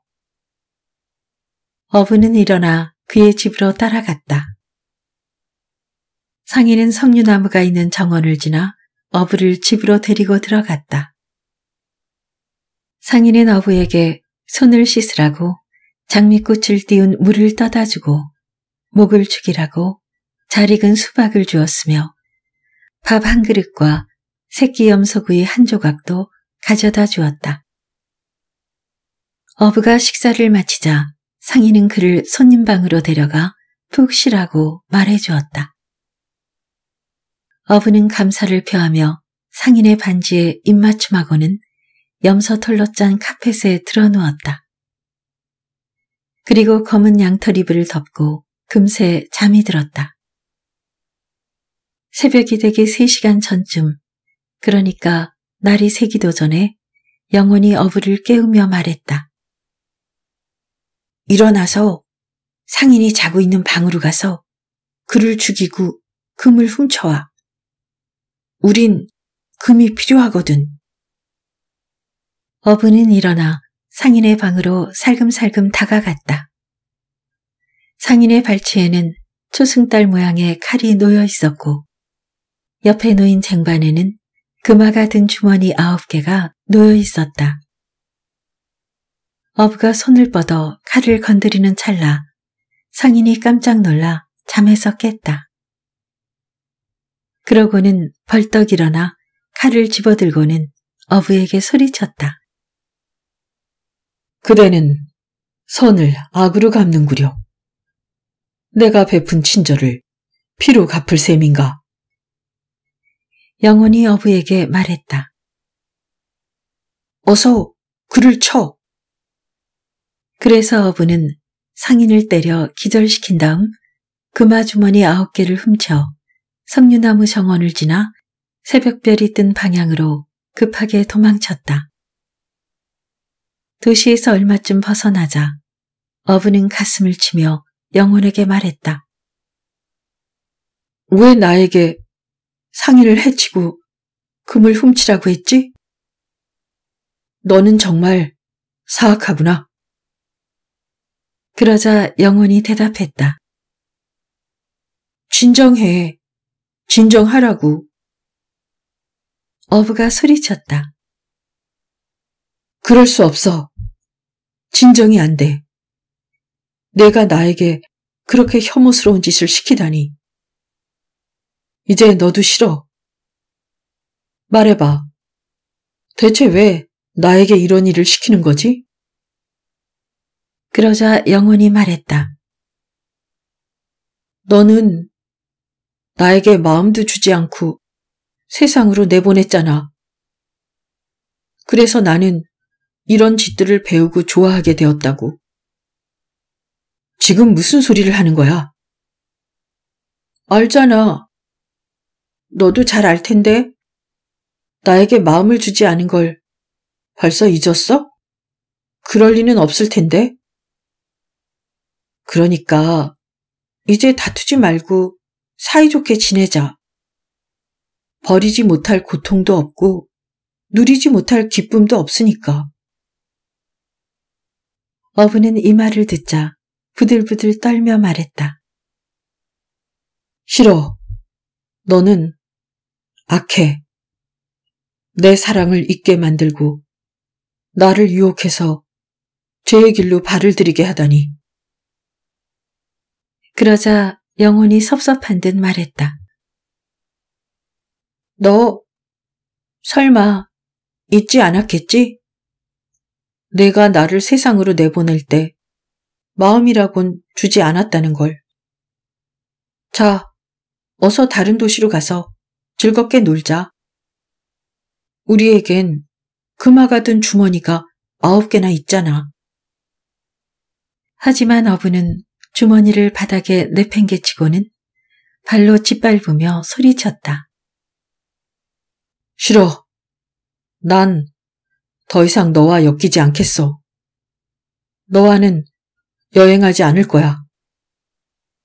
예전에 그랬듯이 나는 너를 또다시 버릴 거야. 너는 나에게 아무런 유익이 없으니 말이야. 그러고 나서 어부는 달을 등지고 서서 녹색 살모사 가죽 손잡이가 달린 작은 칼을 꺼내 영혼의 몸인 자신의 그림자를 잘랐다. 하지만 영혼은 전혀 동요하지도 어부의 명령에 주의를 기울이지도 않았다. 그 마녀가 걸어놓은 주문은 이제 소용없어. 나는 떠나지 않을 거고 너도 나를 쫓아낼 수 없어. 일생에 단 한 번만 영혼을 내보낼 수 있다고. 영혼을 다시 받아들인 사람은 영원히 함께 살아야 돼.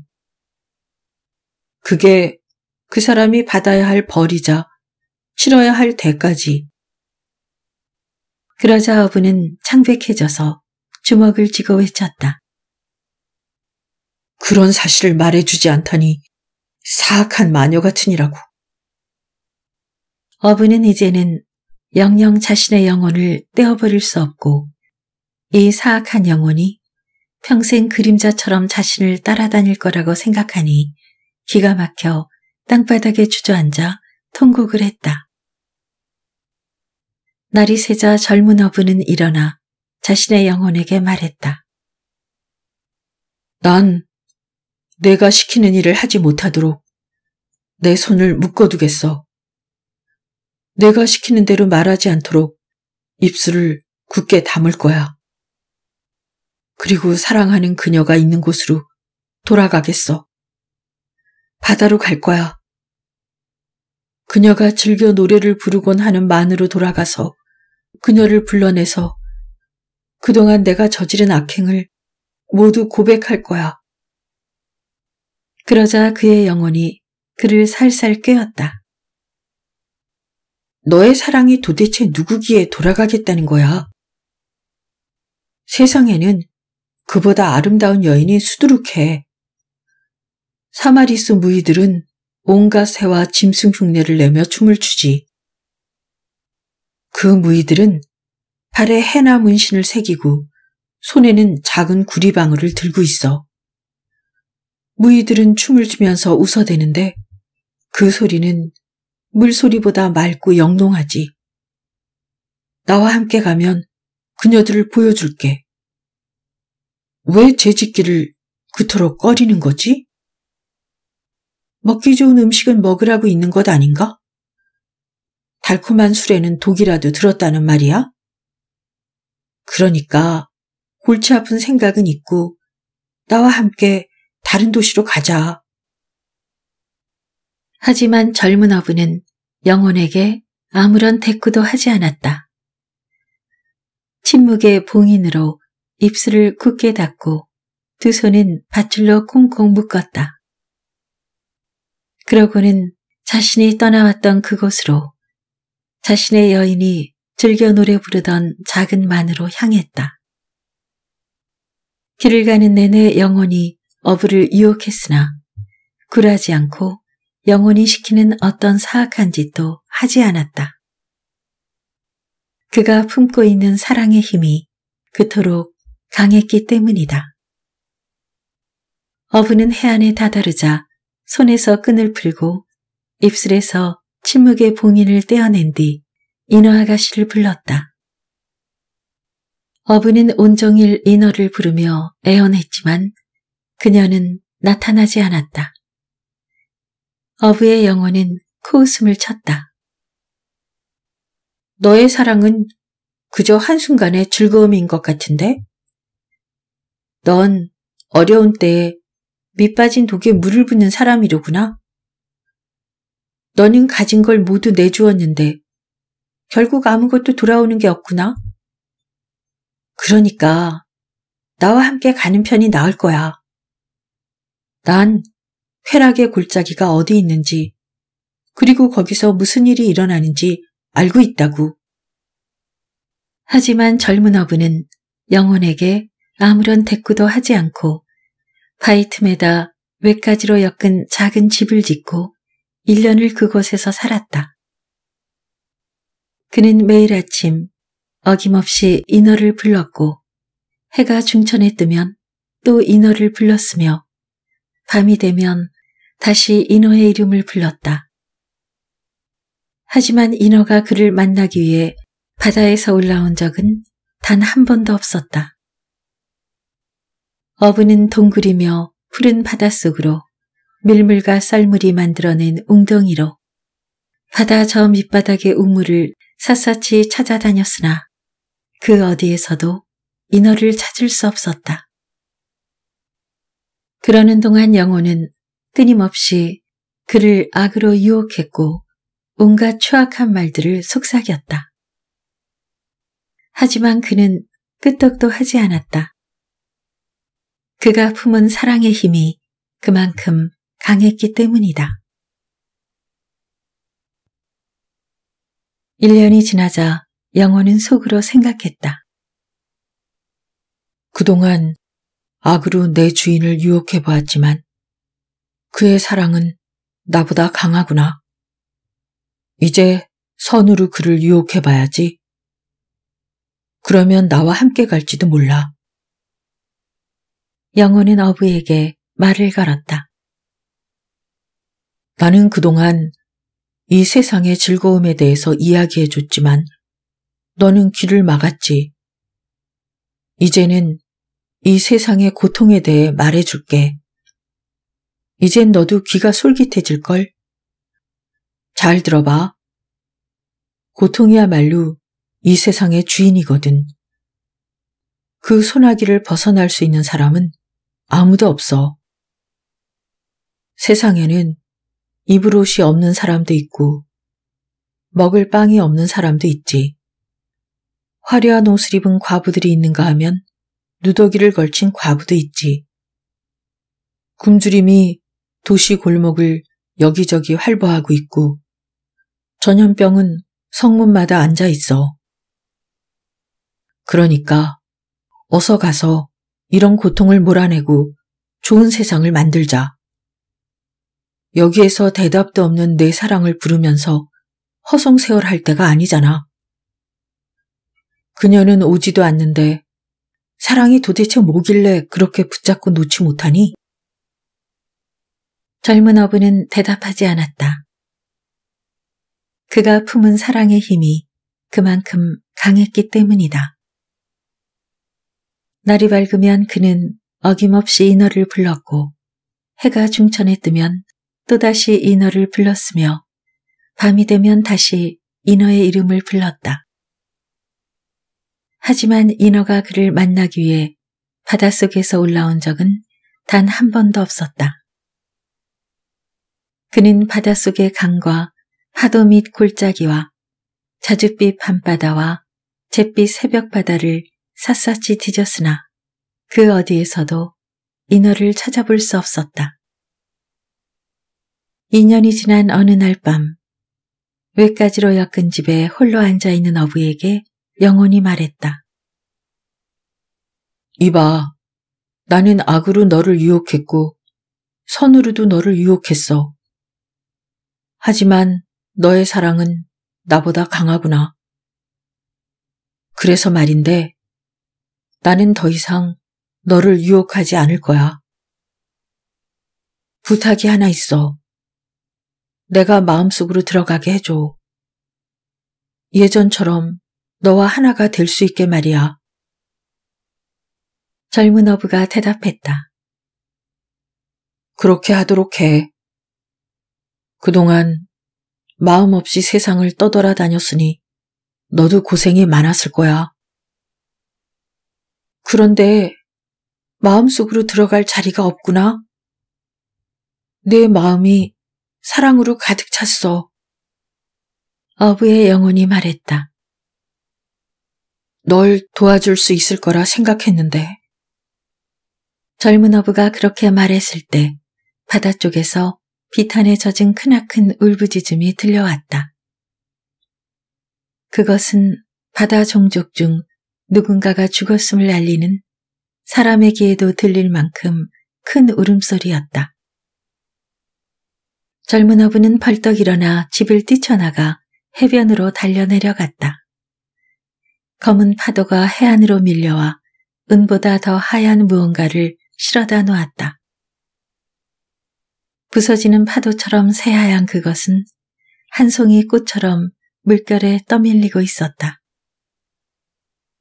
처음에는 파도가 바다에게서 그것을 낚아챘고 새하얀 물거품이 파도에게서 그것을 다시 빼앗았고 마지막으로 해변이 그것을 넘겨받았다.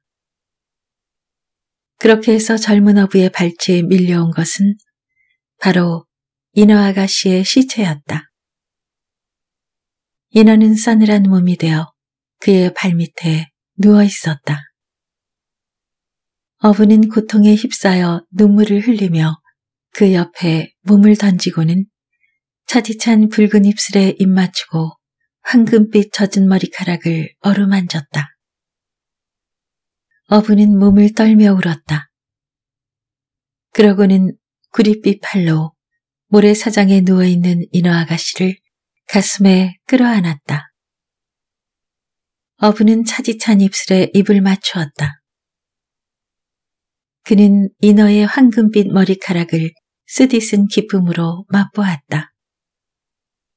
그는 감긴 두 눈에 입을 맞추었다. 눈꺼풀 위에 쏟아지는 사나운 물보라도 그의 눈물보다 짜지 않았다. 그는 고백했다. 그는 조가비 같은 귀에 독한 포도주와 같은 자신의 이야기를 흘려넣었다. 그는 고사리 같은 인어의 두 손을 자신의 목에 감고 갈대처럼 가느다란 인어의 목을 어루만졌다. 검은 바다는 점점 더 가까이 다가왔고 흰 물거품은 신음했다. 바다는 허연 거품 발톱으로 해안을 마구 할퀴어댔다. 바다의 궁전에서는 끊임없이 비탄에 젖은 외침소리가 들려왔고 먼 바다 저 멀리에서는 거대한 트리톤들이 뿔피리를 불어대고 있었다. 어부의 영혼이 말했다. 도망쳐. 도망쳐야 돼. 바다가 점점 가까이 다가오고 있어. 머뭇대다간 바다가 널 죽일 거야. 어서 떠나자. 난 두려워.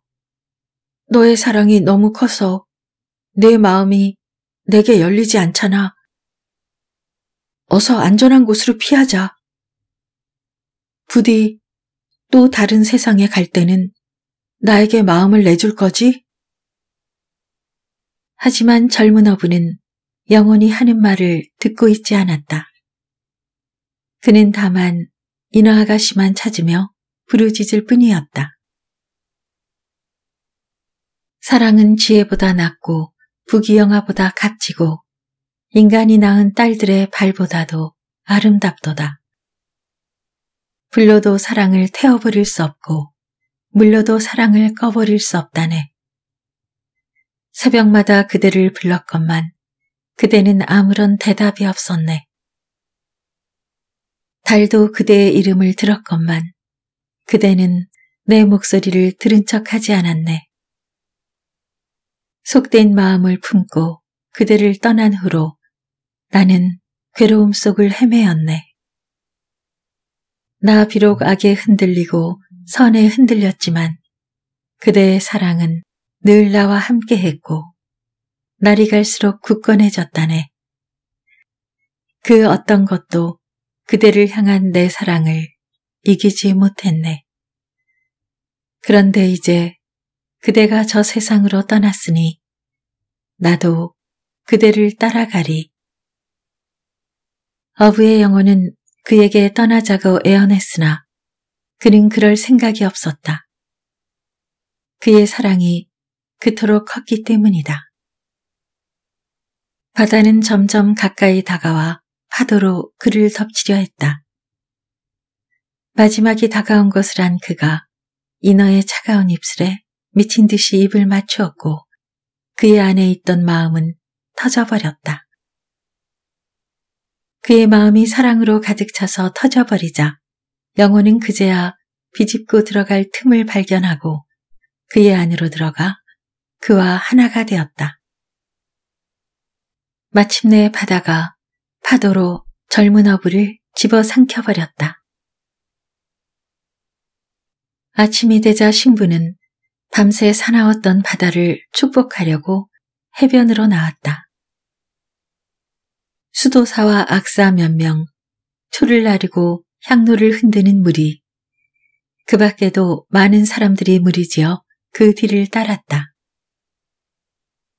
해안에 다다르자 신부는 파도에 휩쓸려 익사한 어부가 아리따운 인어의 시신을 안고 있는 광경을 보았다. 그는 눈살을 찌푸리며 뒤로 물러서서 성호를 그리며 말했다. 나는 바다나 그 안에 사는 어떤 생명체에게도 축복을 내리지 않겠소. 바다의 종족은 물론 그들과 관계 맺은 자에게 화 있을진저.